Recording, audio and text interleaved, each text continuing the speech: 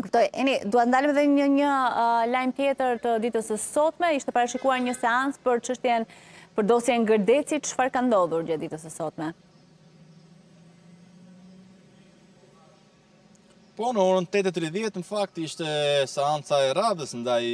ish Ministrit të Mbrojtjes Fatmir Mediu lidhur me dosjen Gërdeci, ku ai akuzohet për shpërdorim detyre dhe shpërdorim detyre Në bashkëpunim me kuadër komandues ushtarak, seanca nuk është zhvilluar, megjithëse zoti Mediu nuk ka qenë vetë i pranishëm, ishin të pranishëm prokurorët e SPAK, avokatët e zotit Mediu dhe avokatët e, dhe avokati i familjes Durdaj, Dorian Matlia, i cili në fakt ka pretenduar që do të përfaqësojë në këtë proces edhe njëqind e nëntë shtetas të tjerë, të cilët janë familjarë të viktimave të tjera të Gërdecit apo personave të cilët kanë mbetur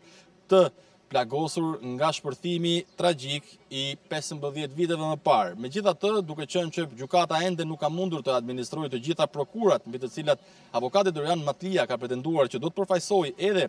viktimat e veprës penale në këtë proces, seanca u shty për në datën tetëmbëdhjetë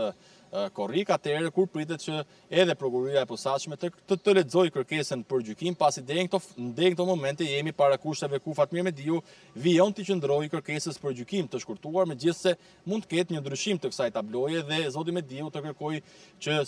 gjyqi ndaj tij të zhvillohet me gjykim të zakonshëm, çka do të thotë që do të kemi thirrje të dëshmitarëve, marrje të shkresave një më një lidhur pikërisht me fabrikën e demontimit të armëve në zonën e Gërdecit, por edhe prova të tjera të cilat mund të paraqiten gjatë këtij procesi. E kuptoj. Mirë, Eni, të falenderoj atëherë për këto informacione.